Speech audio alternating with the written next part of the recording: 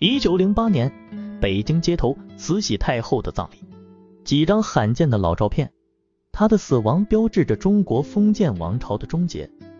慈禧太后的葬礼不仅是一次皇家丧葬仪式，更是一幕令人瞩目的盛大场面。据记载，慈禧太后去世后，北京街头瞬间变成了一个纸扎工匠们的独特舞台。内务府的扎纸工匠们忙于制作纸人、纸马、纸轿。洋车等等，数量之多令人难以想象。